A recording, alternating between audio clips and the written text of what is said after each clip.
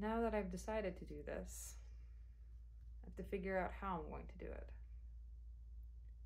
I know are creators and crafty people on YouTube usually post a whole video that is the entire project, or maybe they break it down into a couple parts. And that's wonderful and great. They have an established rate of work. I used to, at least in, in bursts that would have me up until four o'clock in the morning, feverishly finishing things. But I've kind of sacrificed it to the floor, unfortunately. In fact, uh, I'm just about to finish something that I started five years ago. So I don't know yet how I'm going to do this, but I figure the only way out is through. And the best course of action is to just start doing things and uh, figure out exactly how I'm going to do the process later instead of worrying about it before it's actually come to pass. And given my rate of work, it means that I have a significant number of projects that are partially started, halfway done, or nearly finished. These are all largely experiments. So I figured I would just pick one that seemed simple enough. And uh, what I decided to do is uh, my best friend and I went to uh, back when she before she moved away. We went to the local mall, and there was a shop there that had these uh, cheap Venetian masks. They weren't they're plastic, not paper mache, or there weren't any feathers or anything. But I am a huge fan of masks, which is funny given the current standing of things. Uh, but yes, I love masks. Uh, I would like to get one of the fancy, expensive kinds one day, but maybe I'll just make my own. Anyway, I had this mask and it wasn't anything too special. I mean, it was special, I bought it with a friend, but in terms of craftsmanship, I mean, it's pretty sturdy, but the paint job, uh, decidedly not careful, as most things are. I only paid, I think, 12 or $13 for it, so actually the quality of the mask itself is fairly good. Um, I had entertained an idea at some point of being Ultros for Halloween or to Comic Con or something, and Ultros is a character, um, a comedy side character from Final Fantasy VI. And Final Fantasy is a, you know nothing else about me this whole time, is a huge thing in my life. So um, I decided that I was going to make this into an Ultros mask and to make it something I can hang on the wall or at least wear when I'm feeling crazy or at least eh, wear, wear into public now, who knows. So I had made teeth for this initially out of polymer clay and it wasn't even like Sculpey 3 or anything. It's the really soft stuff. A, so it's, I can show you. I made teeth like this if it will. I don't know that this works. This is what makeup gurus do. But I made these teeth. And ideally I would mount them like so. But my thought was if I even breathe in this in the wrong direction and nudge it against anything, polymer clay sucks. it is not a strong material in the least. So my goal is actually to get, this is dumb. Oh, this is dumb. What am I doing?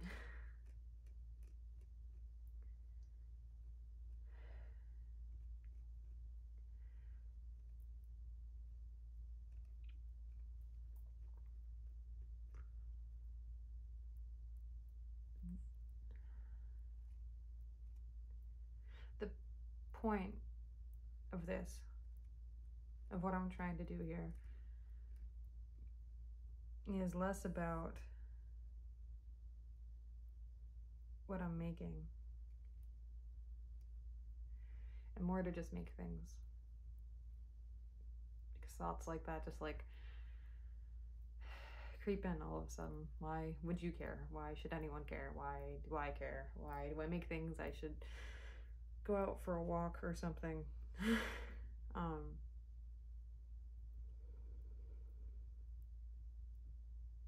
so you'll have to forgive me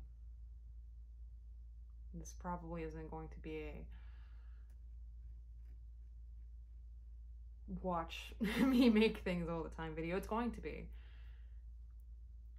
But I have a lot of things I need to talk myself through. My hope is that this will actually be. Hmm. Maybe I can overwrite the things that I'm saying to myself. yeah. Anyway. So today's experiment is uh, first to uh, prepare this mask. It's got all these plastic, oh, plastic, but these uh, grooves here that I need to get rid of. I'm thinking I might keep this eye section here. I kind of like that. Not the glitter, of course, or maybe glitter later, but I have a friend who has a very strong opinions on glitter. but ideally to smooth all of this out. Um, I'm going to round out so this is all the way on the top. And doesn't peek out, uh, doesn't make these edges on the... you know, I'm not going to cut any of this because I'm I'd have to look at myself a lot and then I would never do this. So let's just, I'm gonna break out the Dremel, which is, uh, it's not even a good wired version. And uh, change the head on this and uh, let's start uh, drilling this out. Also, don't do as I do. I'm sure that you probably should have a better mask or goggles or ventilation or do this outside. Probably highly advised to not sand things in your bedroom. Uh, yeah, don't watch, don't repeat. Doubling down before on my statement that I don't know what I'm doing. I raise you uh, absolutely guessing each and every single time I use a Dremel about which bit to use. I'm using this guy. Is he going to work? Uh, probably. But I have a variety of packages and whole bag of these that my dad gave me at some point. So, you know, if this one doesn't work, we're just gonna switch out for another one. All right, let's try it. Let's uh, let's see if it works. Pop this guy right here.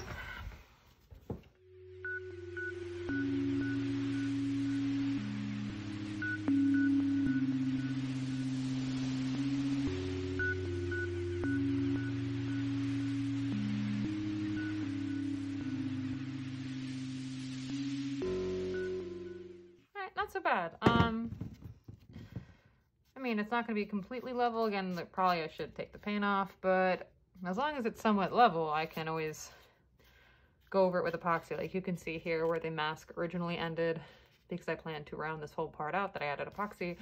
So I can absolutely put a layer of epoxy and smooth this out since my ability to sand things into perfection um, leaves a bit to be desired, but maybe this is a good time. So I'm to try this fancy time-lapse nonsense that phones come with, and uh, hopefully that turns out.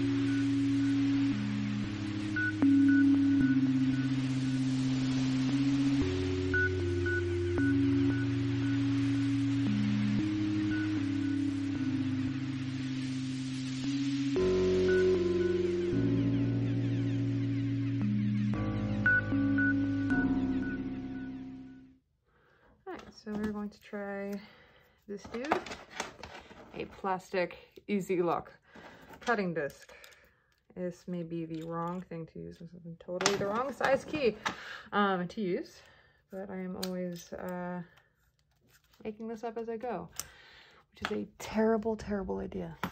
But, you know, I still have all my fingers. So we're going to try it.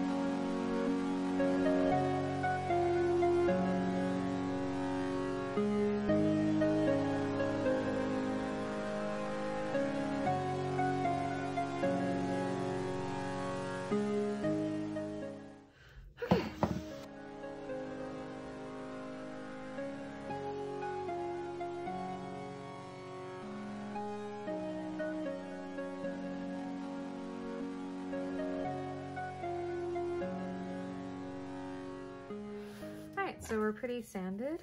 Uh, it doesn't have to be perfect because I think I kind of want to get like some decent texture on him. Uh, you know, so putting over a layer of epoxy and fixing up this edge. I got a little close to there, so I'll probably add on a little bit here. Um, so it's come to my attention that the angle of the videos thus far has been off center. But I've never done this before, so I beg your patience and hopefully, um, you know, a year or years from now, um, I'll be a master. But I am as of yet an absolute and utter novice. I don't even think novice is enough is a strong enough word. But uh we'll see. Can I do better? Let's say I don't know. We'll find out. Gonna be fun, I think. So it's time for teeth. Teeth time. A whole week later, because that is my current rate of motivation and production, and also the fact that this didn't get here until yesterday. Um, this is the white epoxy, and I'm given to believe that it dries a dirty white. It's not a white white. Now they do make a super white one that is $25 for a pound, which is not a, a, um, a price per pound I'm willing to pay for right now. So this is four pounds of the white epoxy and I paid $45 for it, which still makes me a bit because I have spent so much money on art supplies that I still have. And I am surrounded by it in my room at all times and they mock me for not using them. So the fact that I've bought more when I still have gray epoxy, it's okay. The money's spent. I've opened it. It's mine now. uh, yeah, maybe in the future when my rate of production is a little bit more impressive, I can shell out the $25 and maybe see like what the super white's all about. If it's worth it, if it's not, um, I guess we'll see. So yeah, now we need to get some gloves because uh, the one thing that you don't really want to do, and you're supposed to wear gloves, I think, throughout the entire process of wearing these. So this is going to be another one of those um, do as I say, not as I do things. Because I do mix this with gloves on. But I find that gloves get in the way of me actually modeling stuff. So yeah, let's get some gloves. A person who is better at this would have all of their supplies handy. I don't. Now I am using, I like this uh, size of these teeth, the ones that I had made out of polymer clay. I like the idea of these. So I feel like I'm gonna make them pretty long and then in the future, whenever I get this sorted out, because I do want them kind of at weird sort of angles, cockeyed like this, that I can just shave them down to however I want, or, you know, add more to it before I, I weather them like so. But this is about the size that I want, so I figure I'll make it about, you know, this much longer. You know, to... I'm gonna stop talking. I'm just gonna stop talking. Oh, yeah. I was having a discussion with my mom today that uh, my job requires me to be in a mask all the time. And you may have gotten this idea from me already. I'm a little uh, anxious. When I'm really anxious, I touch my face all the time. So at work, I actually put my mask on before I leave for work. And I don't take it off until I get home. So I probably wear a mask. I mean, I don't even stop for water or anything. So I probably wear a mask about, ooh, 48 hours a week, maybe? Um, so right now I'm wearing a mask too because uh, I don't want to show my face on camera because uh, reasons. Uh, that I actually feel more at home in a mask and that it feels weird sometimes to not be in one. The one thing I really love about new epoxy is it's so smooth. Once epoxy starts to get a little bit old, um, it does start to become quite um, aggravating to use. And because I am really blind, I try not to miss the lids for my bottoms. I usually try to do this in paint so that it's more obvious. I really have to put like a piece of like duct tape or something that's a completely different color because I can't tell. Usually whenever I've written the, the, the canister was always turned a certain way that I can't. There's the lid. Can you tell I'm nervous? I'm very nervous. For no reason. I'm literally just talking to myself. Yeah. My one friend, my like my best friend says, uh, ah, yeah, Jackie all the time. And now I say it.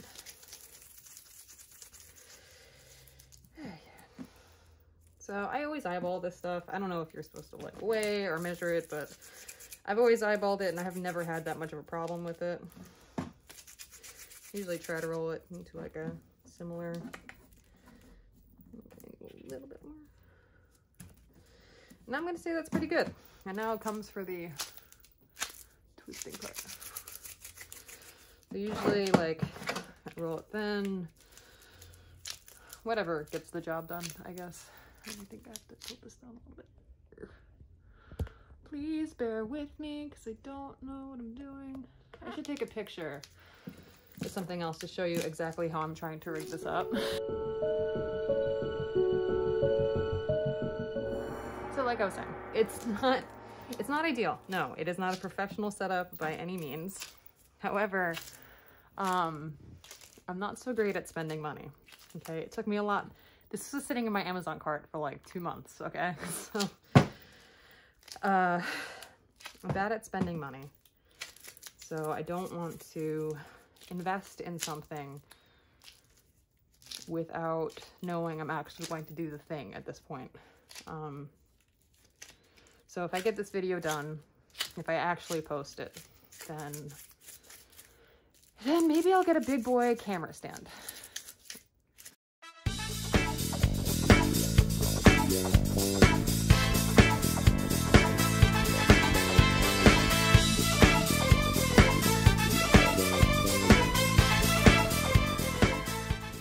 usually takes, I think, what, 24 to 48 hours to fully cure.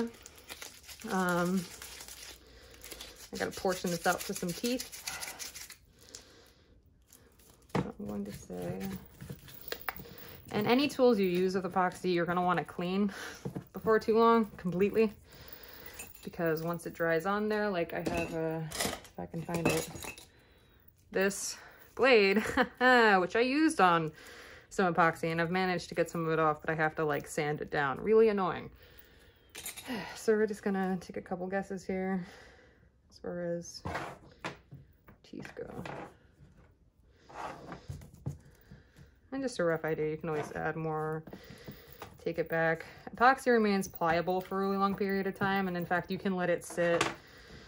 Um, you can even let it sit for, I don't know, 10, 15, 20 minutes and let it harden up a little bit more. It's very sticky at this stage.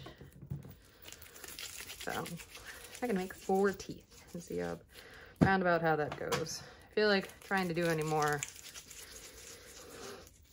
And the way I've always noticed is that I've either I've either mixed up just enough of uh just just a little less epoxy than I need or way too much. So I usually have a variety of small projects on the side that I slowly build up epoxy on. You can see if I can reach one and show you. Like I started this other mask too that I am going to cover in eyeballs. So anytime I'm left with excess epoxy, if it's enough, then I pop it on here and I make some eyeballs. Aha. So this is probably way too much for teeth, but you know what? I need it a little bit longer. So another tool is to, uh, so when you smooth, you can smooth epoxy fairly well. It gets very sticky. You can tell my hands are pretty sticky. Um, is water. Water is excellent. I admire this paint palette that I bought that I never clean and a repurposed shampoo bottle that I use for water on command because I usually sit down to do stuff and I never have water on me. All right, so I'm gonna take the gloves off. A good thing is that if you are going to um, use this stuff barehanded, uh, clean your hands really well afterwards. Try not to touch your face, like, because the things that the resin, I feel like the interaction, um, you can get like an allergic reaction to it. And I have in the past from touching my own eyes with it. So um, if you have glasses, wear them. Or, I don't know, wear fake glasses or goggles or something. Anything that's going to help deter you if you, like me, will like touch your eyes. So again, we're kind of going for this kind of shape now. It doesn't have to be perfect because I'm going to get in there with a Dremel. I'm actually not going to go too crazy about making lines or anything. I'm just going to go for the base shape. Kind of like this. I did scratch away some of this, if you can see, but just a general curved shape I think I'm to go for. And it is very, very pliable right now. So I may have to just kind of coarsely shape it for right now until it sets up a bit more. Yeah, this stuff is a lot, well, I don't know. Maybe at this point, my, my other stuff is a bit older. So when it does age a little bit more, um, even if you're really good about keeping a really good uh, tight seal on it, it does become like tougher. It's not as smooth, um, especially if you start to, like I, um, I had this older stuff before I even got the, the gray one I have now the very first time I had epoxy, I think I had the same container for like a year. and toward the end of the year, it was, um, it was gross. I feel like uh, some of the activator started separating and it was oily and they dry. It was very strange. So yeah, ideally I just kind of want, I want it to have a nice curve to it. All right, so this is where we speed up because I redid all of them. I, in my attempts to shape them, I was making them too tapered at the edge and not leaving enough to like Dremel off later to shape it the way I want to.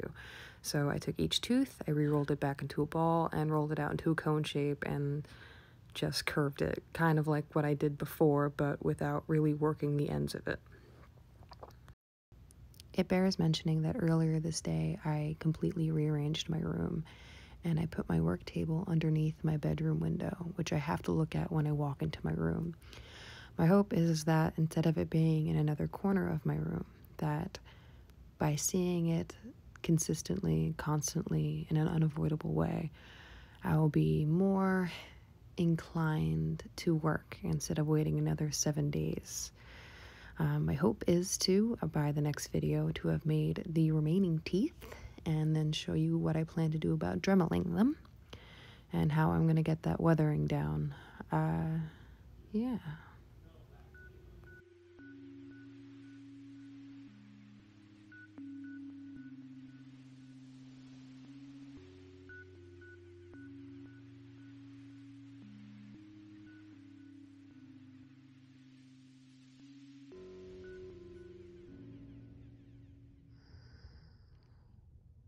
Finding the motivation has been really difficult. Like making those four teeth right there. Like it cost something. It's stupid because it hasn't. It's like the most minimal effort. I haven't even reshaped them yet, but some days are just some days are just harder than others, you? Know.